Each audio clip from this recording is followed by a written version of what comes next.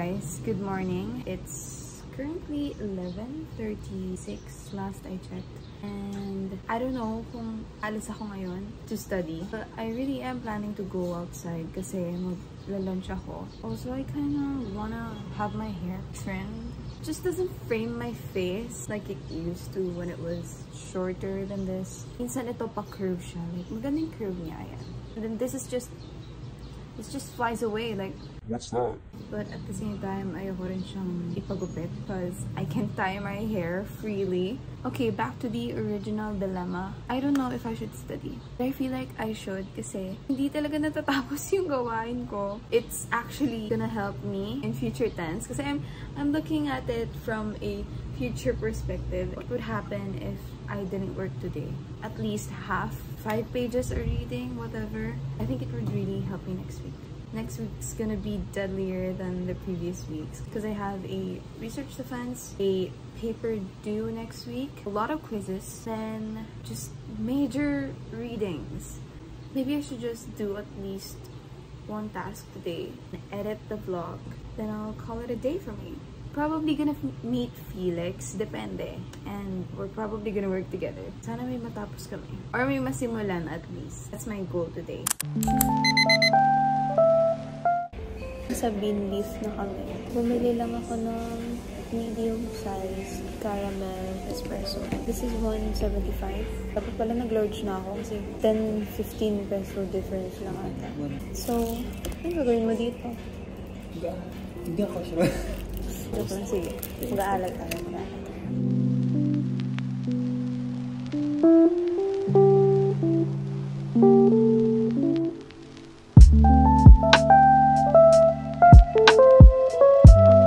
Hello. Papunta kami somewhere. Kasama ko si Felix. May ano, maingay. Nagpunta kami ng Regis. Kala namin mainit. Turns out, it's colder here.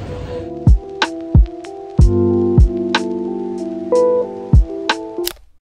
guys, what's up? So today is Monday. I'm about to leave in a while. Nagpapak na ako ng things ko kasi I'm gonna go somewhere to study. I gave myself some time to rest over the weekend. Pili ko naman deserve ko siya. So ngayon, I'm gonna go out and work. I was thinking of studying in Ariete, but I'm not sure if it's open today. So I might just end up going to a cafe or something to study. We'll see if I go to Ariete or just a coffee shop here. I'll get back to you on that later. Hi guys, so I'm currently in CBTL. I decided to just go here kesa sa Arete ako pumunta kasi mainit din. I just got a matcha, uh, iced matcha uh, tea latte and this is their largest. This is 250. Anyway, I have to finish a few tasks today. So, we'll need to start na ako in a while. I'm just gonna get in the mood. Let's work.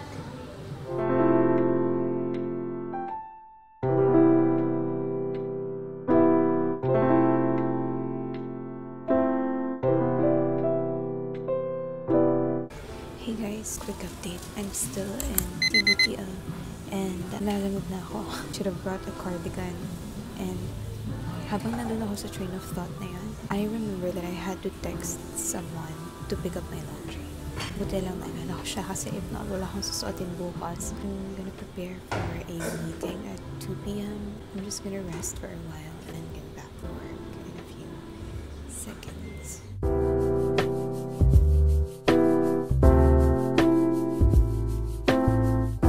Since nakapag-discuss na kami ng gagawin, I'm gonna start working on it. Baka umuwi ako ng maaga. Para na ako masyadong matatapos dito kasi there's no wifi. Nalalamig na talaga ako. Okay guys, I'll update you later.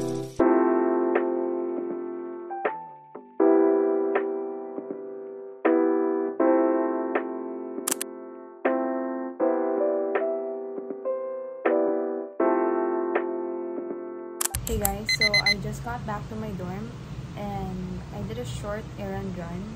Pumunta lang ako ng convenience store to buy some strictly important stuff that I need as a girl. I bought Nivea Micellar Water. I have never tried this. I've tried the pink one and it didn't work on my skin. So I'm hoping this would work on me because this is 3-in-1 caring cleanser with 0% alcohol. I hope that's true. And I usually use the Pond's micellar water but wala kasi nun sa convenience store so I just settled for this one.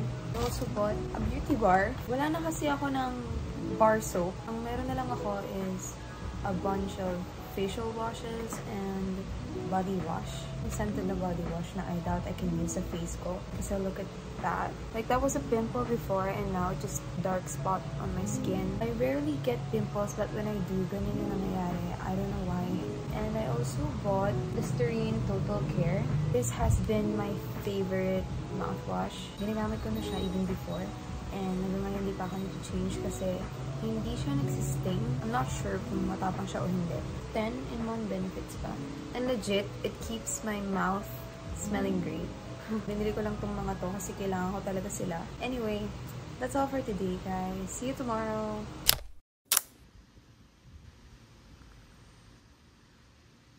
Good morning guys. So today is Tuesday. I'm just drinking my coffee. I made my own coffee. I'll hop in the shower in a few seconds. Mag-update lang ako kasi plan to go sa NRL to study. Review muna for my presentation today. Tapos pupunta na ako dun sa first agenda ko today which is a forum. Actually, online pala siya. So maybe I'll stay there until my next subject. So that's the plan. See you guys! Darling. Hello. Nasa Ateneo na ako. Dahil pinagpapawisan na naman ako. Hey guys, so nasa NRL na ako. I plan to finish at least one task before yung forum na attendan ko at 9.30. I really don't wanna get coffee. Minam na ako ng coffee, so hindi na ako bibili. I'll just rest for a while and then start working.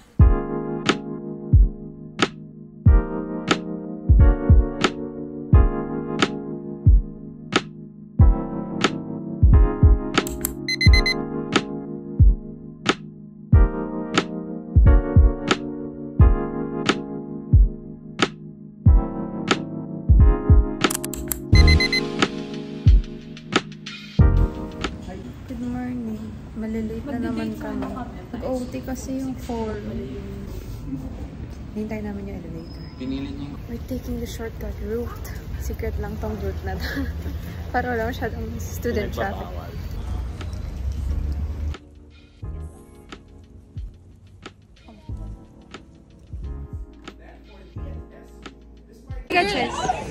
Bye-bye. Tama na! Intangible you can touch. You cannot touch. No, intangible. Kaya ano sabi ko? Anyway, Kasi I nakatapos. said relaxing thoughts are intangible. Mamaya na lang. Tama naman din. Hi guys, kakatapos lang namin mag-PE. May talk pa kami pupuntahan.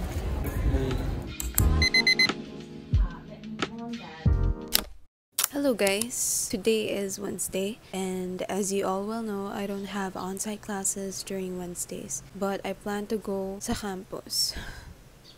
Today is study day kasi I wasn't able to study as long as I could yesterday. And I also wasn't able to vlog actually. I was super dead yesterday. I'm gonna take this day to study and work on the things I should have worked on. I actually might end up going sa Teo, Mateo Up. The one where I usually stay late at night kapag nag-aaral ako on campus. I'm just gonna eat my lunch, get coffee to go before I settle on campus. So I'm gonna start packing my things, guys. See you later. Hey guys, so I'm already on my way to Ateneo. But dadaan muna ako ng coffee shop dito sa labas. Probably Tomo kasi it's cheaper outside. So see you in Ateneo na guys.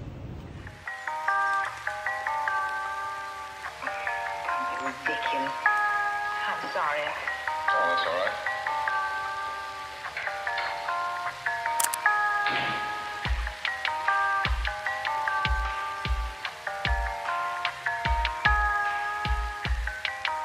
Hey guys, so nasa Ateneo na ako. Wala masyadong tao on campus. Tumaan ako sa shortcut sa likod ng buildings papuntang Teo. It's currently 12.30. That's another reason kung ba't hindi ako dumaan sa gitna dahil Tirik na tirik ang araw. No one told me to walk under the sun at 12.30 p.m. But I see. Well, uh,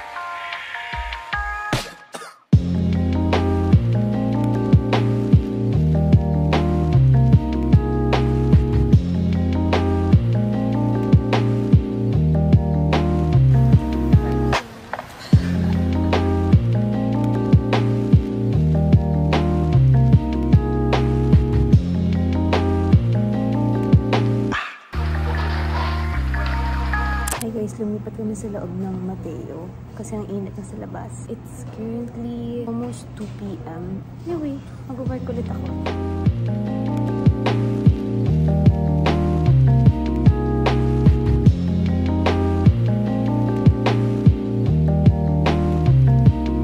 Malis na kami ng Teo. Magla-lunch na kami.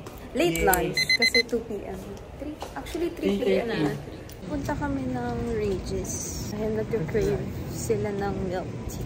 Feeling ko mabubudol ako. Just this year.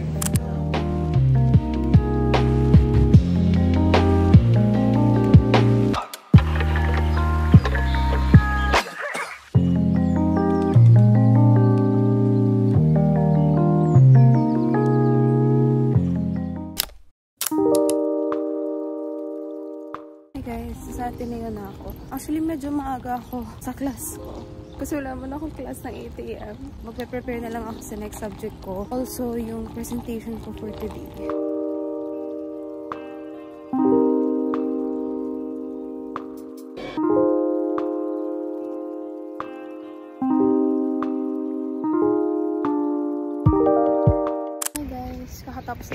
Mag-lunch. Papasok kami ng NRL now. Paaral ulit kami.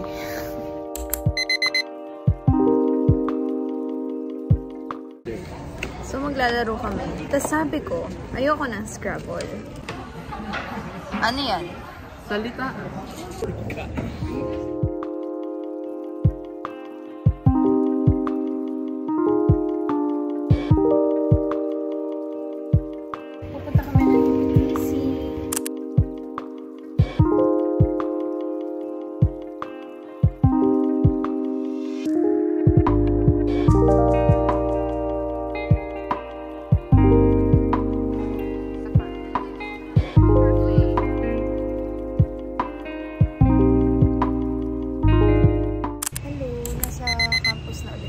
May class ako ng 5 p.m. Actually, may presentation pa ako. For the last time. For the last time. No, we will miss you. Leaving us. もう少し話そう